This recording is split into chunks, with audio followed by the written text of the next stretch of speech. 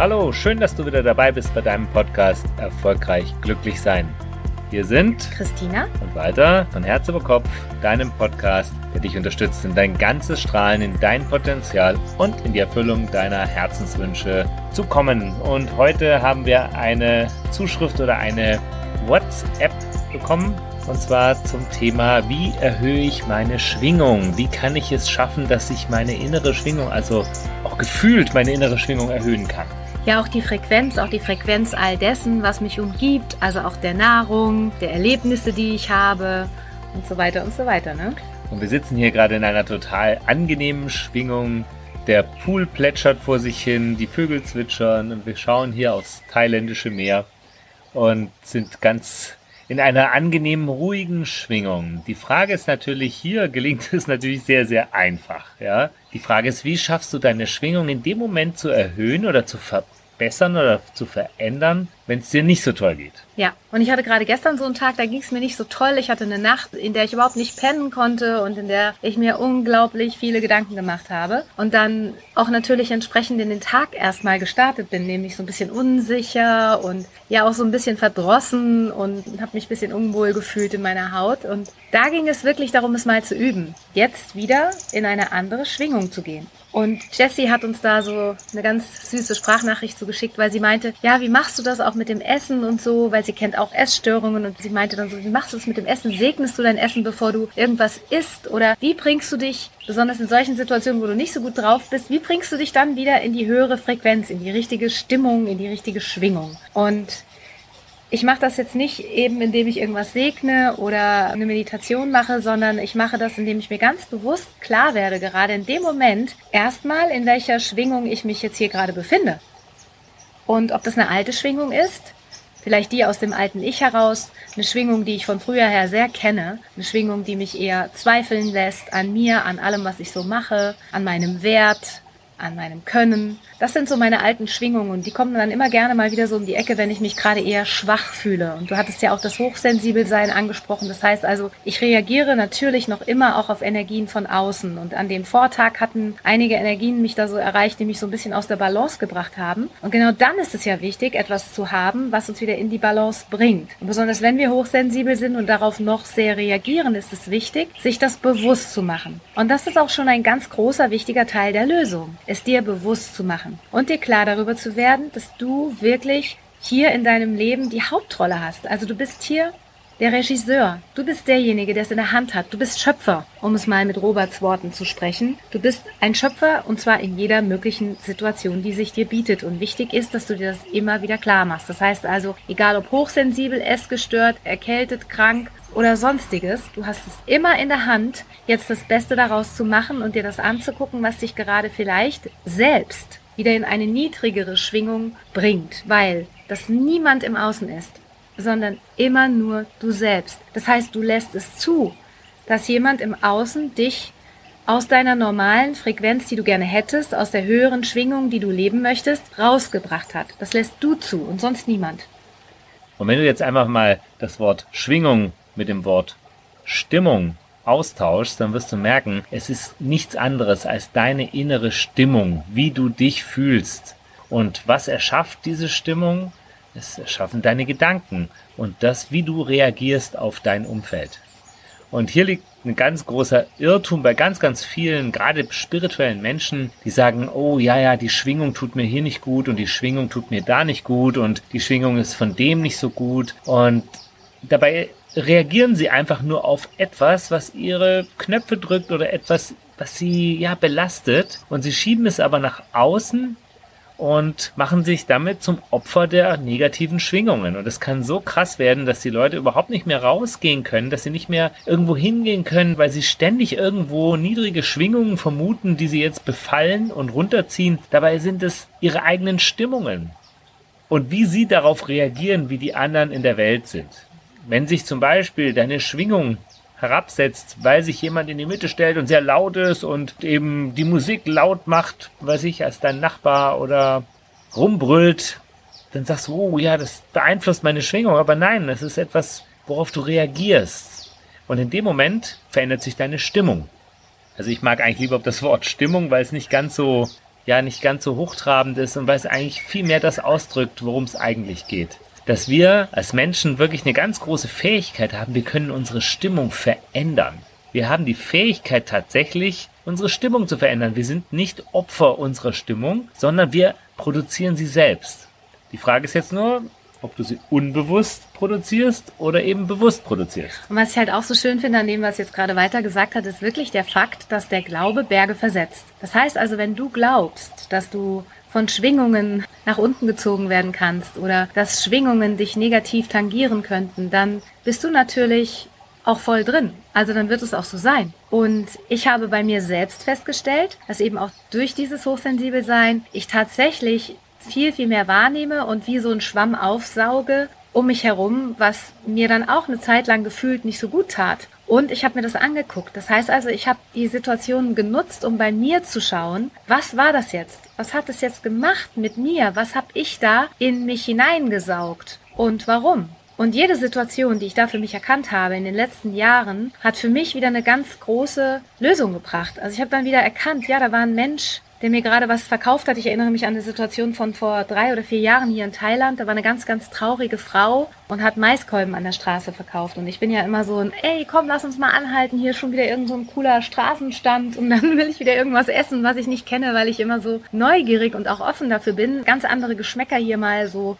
in meinen Gaumen kommen zu lassen. Und Walter meinte schon so, jetzt muss das jetzt unbedingt sein. Das sieht aber irgendwie jetzt hier nicht so ganz hygienisch aus und ich weiß auch nicht, ihr guckt so komisch und so. Ich so, nein, den Maiskolben will ich jetzt unbedingt probieren. Das ist toll, das ist großartig. Naja, und gesagt, getan. Ich habe den Maiskolben gegessen. Und ich habe schon gemerkt, boah, die war echt nicht gut drauf, die Frau. Der ging es auch, glaube ich, richtig übel. Und das, was dann anschließend war oder geschah, das war nicht so cool, weil mir ging es dann auch richtig schlecht. Also ich kenne das durchaus, dass man so das Gefühl hat, boah, jetzt habe ich was echt gegessen, was in keinem so richtig guten energetischen Zustand war und ich bin gar nicht mehr so richtig zu mir gekommen, ne? Ja, und daraufhin hast du die ganze Nacht gekotzt, mehr oder weniger. Ja. Und das heißt ja auch nicht, dass das nicht auch existieren kann. Nur, man darf wirklich gut abwägen, welche Schwingungen produzierst du selber und welche übernimmst du. Ich habe nämlich bei mir gemerkt, dass ich natürlich diejenige war, die für ihre Schwingung sehr empfänglich war. Und ich habe für mich eine Überlebensstrategie erkannt. Durch sie.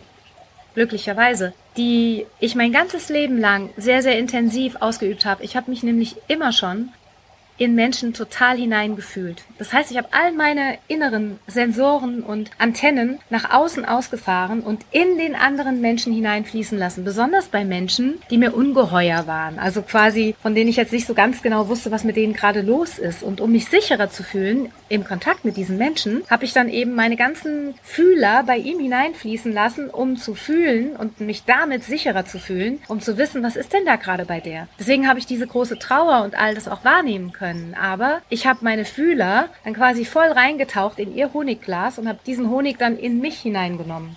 Und der Honig hat mir einfach nicht gut getan. Aber das hat nicht sie gemacht, sondern ich habe das gemacht. Und in dem Moment, wo ich das mir auch bewusst gemacht habe, dass ich in Resonanz gegangen bin das heißt, ich bin in Mitschwingung gegangen zu ihrer Schwingung und ich habe liebend gerne in dem Moment unbewusst ihre Schwingung zu meiner werden lassen. Warum? Weil ich etwas mit dieser Schwingung anfangen konnte. Das heißt, immer dann, wenn du auf etwas reagierst oder in Resonanz gehst, hat es etwas mit dir selber zu tun. Also habe ich bei mir tatsächlich, ehrlich gesagt, einfach nur noch mal meine alte große Trauer, mein Missmut, mein Groll und mein Unglücklichsein gefühlt, dass ich bei ihr fühlen konnte und dass ich einfach mit zu mir genommen habe. Und ich glaube, damals war das auch wirklich wie so ein Reinigungsprozess. Ich konnte ja gar nicht anders, als das aus mir rausgeben und immer weiter und immer weiter. Aber hätte ich damals schon noch bewusster gefühlt, was da gerade los ist, hätte ich auch sicherlich nicht mich übergeben müssen, sondern hätte einfach wahrgenommen, dass ich auf sie reagiert habe, weil sie etwas hat, was ich sehr, sehr gut kenne. Und warum macht es ein Mensch, dass er seine Fühler ganz besonders stark im Außen hat? Weil er vielleicht als Kind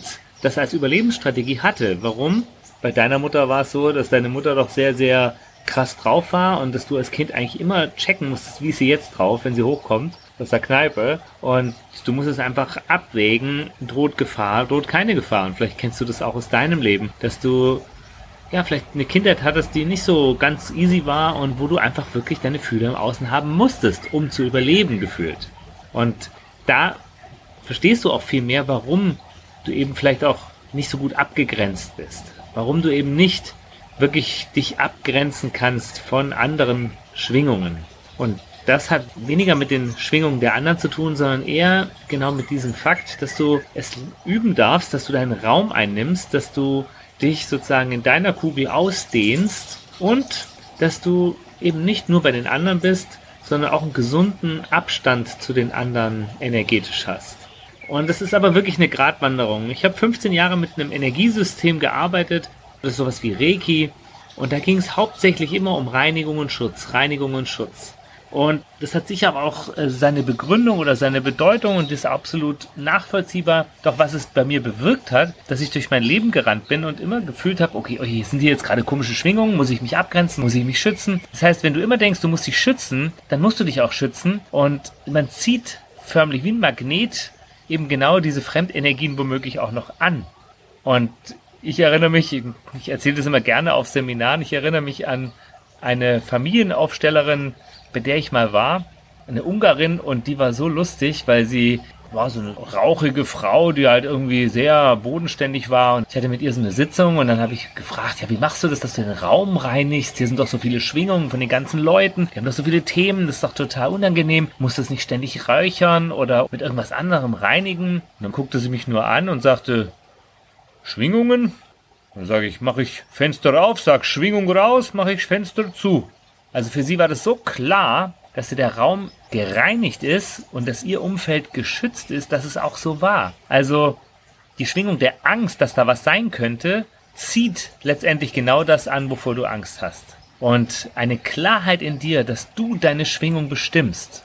Und darüber wollen wir ja eigentlich reden. Wie kannst du deine Schwingung tatsächlich verändern? Das ist ganz, ganz wichtig, dass du dir bewusst bist, dass du deine Schwingung, deine Stimmung produzierst. Und dass du mit den anderen natürlich auch in Resonanz gehst, weil die meisten von uns verändern ja gerade dann ihre Stimmung, wenn sie eben den Knopf gedrückt kriegen. Und da ist es eben viel, viel wichtiger als dass du dein Essen segnest, was sicher auch eine tolle Sache ist, dass du sagst, boah, okay, ich schätze dieses Essen wert und wenn da Fleisch drauf ist, dass du sagst, boah, ich danke dem Tier, dass es für mich gestorben ist oder eben wenn es Pflanzen sind, auch wunderbar oder Gemüse, dass du wirklich eine Wertschätzung in das Essen hineingibst, aber das ist eine Stimmung, die du in dir erzeugst. Es ist eine Richtung, die du in dir erzeugst und es kommt jetzt nicht von außen in das Essen rein, sondern in dir wirst du aufnahmebereit für ein Essen, das dir jetzt gut tun wird. Das heißt, du glaubst daran, dass es dir gut tun wird.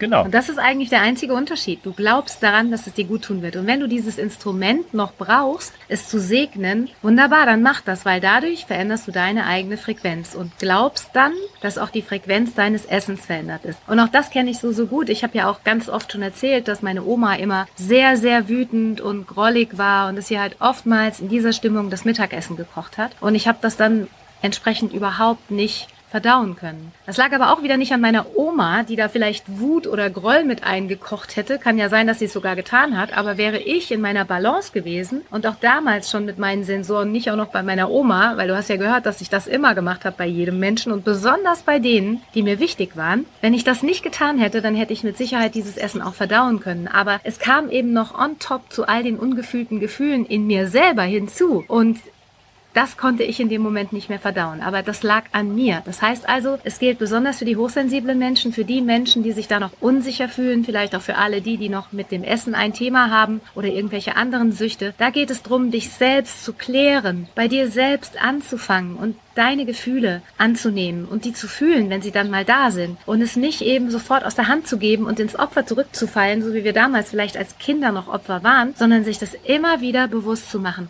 Du bist der Hauptregisseur in deinem Leben. Du hast es in der Hand. Du bist in der Lage, das zu verändern, indem du jetzt bei dir selber schaust, deine ganzen Sensoren wieder nach innen nimmst und mal reinfühlst in dich. Was ist denn da gerade bei mir los?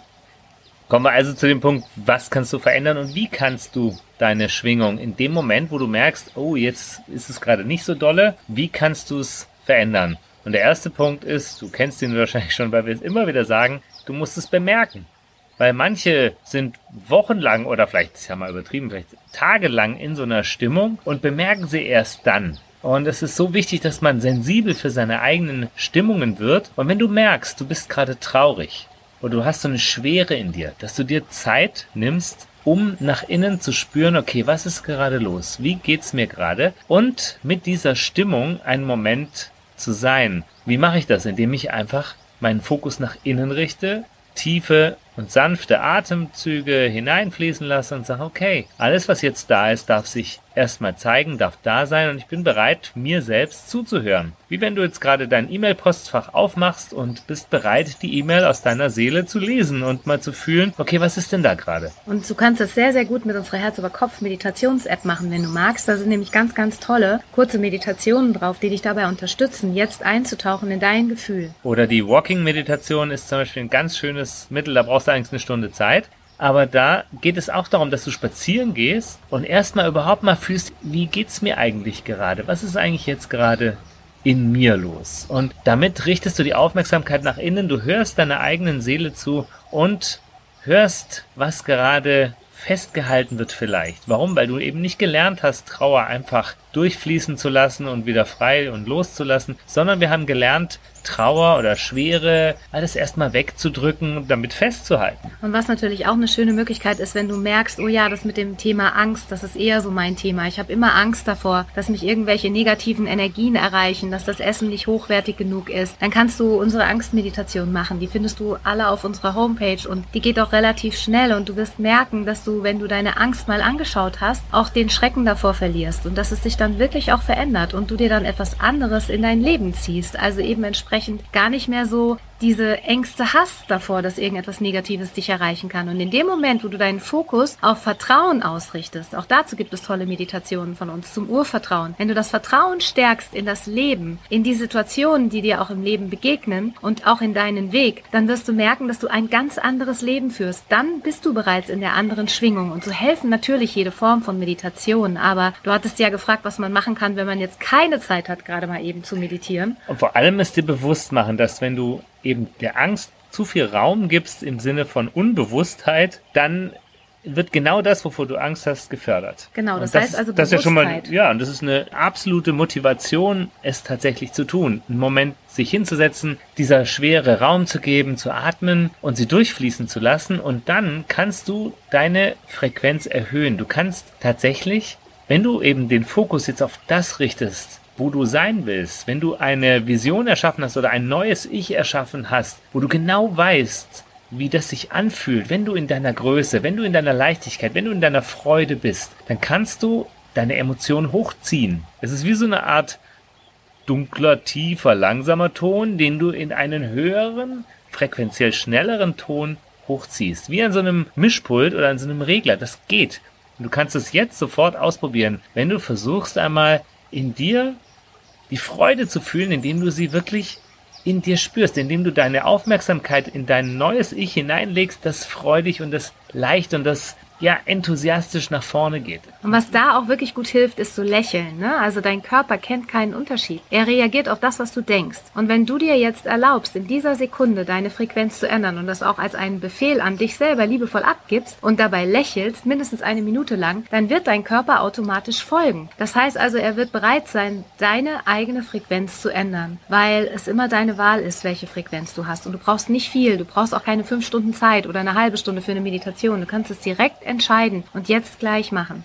Ich sitze hier gerade und lächle. Du das sieht sehr komisch aus. Das und genau das, das macht auch über, macht überhaupt nichts, dass es komisch aussieht. Und es macht auch überhaupt nichts, dass es gefaked aussieht und sich auch so anfühlt. Halt es einfach durch für 60 Sekunden und die körperlichen Ausschüttungen passieren, auch ob du daran glaubst oder nicht. Du wirst tatsächlich dieses Oxytocin ausschütten, das dann deine Stimmung wieder verändert, dein Glückshormon, dass du wirklich dich anders fühlen wirst. Und genau darum geht es. Du hast es tatsächlich als Mensch in der Hand. Du bist kein Opfer deiner Stimmung, solange sie nicht pathologisch ist, sage ich jetzt mal. Also ich will jetzt gar nicht mich zu weit aus dem Fenster lehnen, dass jemand, der in einer tiefen Depression ist, natürlich erstmal sich nicht einfach nur ein Grinsen aufs Gesicht setzt und dann ist alles wieder gut, sondern da geht es natürlich auch darum, dass du vorher und das ist ganz wichtig, dass du das eben nicht weglächelst, sondern dass du vorher all das da sein lässt und einmal hindurchfühlst und es einfach gefühlsmäßig loslässt.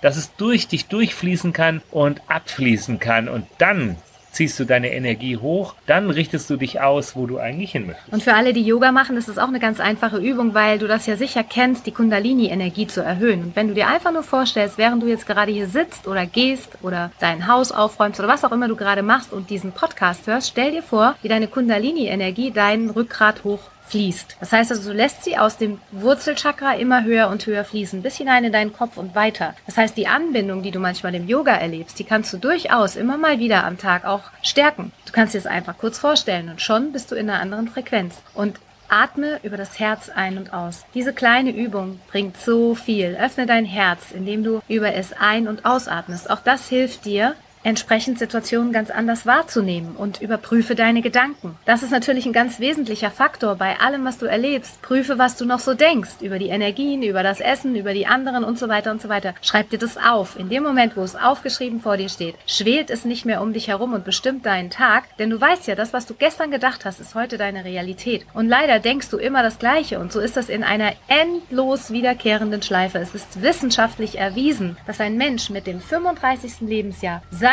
ganz eigenes Computerprogramm abgeschlossen hat. Dann ist es fertig entwickelt. Und nach diesem Computerprogramm mit 35 läuft das Leben weiter seinen Lauf. Und jeden Tag die gleiche Schlaufe. Jeden Tag das gleiche Computerprogramm. Deswegen finden wir das unglaublich hilfreich, dieses Computerprogramm so genau wie möglich zu kennen. Wenn du weißt, was sind da für emotionale Blockaden drauf, was habe ich da abgespeichert an unwahren Gedanken. Wenn du die alle kennst, dann bringst du diese Energie wieder in den Fluss und du veränderst dein Computerprogramm. Und wir laufen sonst per Autopilot täglich in die gleichen Dinge hinein. Und es ist ganz wichtig, dass du da eben anfängst, Bewusstsein drüber zu erschaffen, dich liebevoll zu beobachten aus einer Vogelperspektive heraus. Dazu dient es dir sehr, glaube ich, wenn du das aufschreibst und nochmal überprüfst. Dazu gibt es ja auch ganz, ganz viele Möglichkeiten. Und für alle, die jetzt das Gefühl haben, wow, da möchte ich mehr drüber wissen, laden wir euch nochmal ein in unsere Ausbildung zum Inspirationscoach, weil wir glauben und sind fest davon überzeugt, dass das die wichtigsten acht Monate im Leben eines Menschen sein können. Die wertvollsten, die wichtigsten, die richtungsweisendsten und die, die wirklich am effektivsten sind, um sich selbst zu entwickeln und dabei noch eine wirklich hundertprozentig funktionierende Methode zu erlernen, die andere Menschen ebenfalls in ihre Größe und in ihr Strahlen bringt. Und wenn dich das interessiert, gibt es jetzt sogar zwei Ausbildungsgruppen ab August, eine in Berlin und eine in Frankfurt am Main, dort in der Nähe. Also wir laden dich dazu herzlich ein. Ich glaube, es gibt keine sinnvollere Investition in das eigene Leben, als sich so etwas zu gönnen. Wir haben so viele solcher Dinge gemacht in unserem Leben und sie waren immer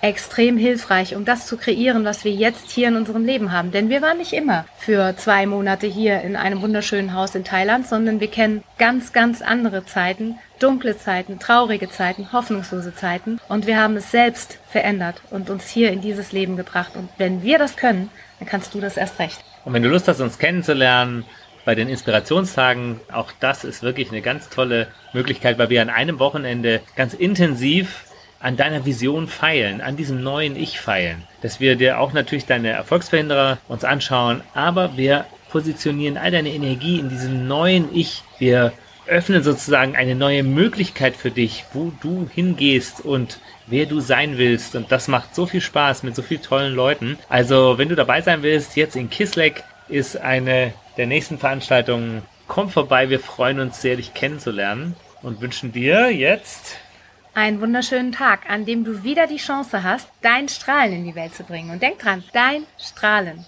verändert die Welt. Und wenn es nur einen Menschen erreicht, dann ist das schon sehr, sehr, sehr viel wert. Dein Strahlen macht die Welt ein Stückchen heller. Und jetzt genieß deinen Tag und achte mal auf deine Stimmung, Schwingung und wenn sie etwas niedrig schwingend ist, dann lass sie los, fühl sie und zieh sie in die Richtung, wo du sie haben willst, nämlich Öffne dein Herz, spür dieses Herzzentrum und die Liebe in deinem Herzen und lass sie wieder fließen und du wirst merken, deine ganze Schwingung verändert sich und sofort. Träume, Träume, Träume, Träume, Träume groß. Erlaub dir selbst, in die tiefste, schönste Vision deines Herzens einzutauchen. In dem Moment, wo du dich wieder öffnest, zu träumen, zu visionieren und groß zu denken, bietet sich dir auch die Möglichkeit, in dieses Leben immer mehr einzutauchen, dort anzukommen. Aber leider nur dann, wenn du dich wirklich damit auseinandersetzt. Es kann nur das in dein Leben kommen, wo du deine Energie hinrichtest. Also, richte sie auf das Richtige heute und lass es dir gut gehen. Bis ganz bald.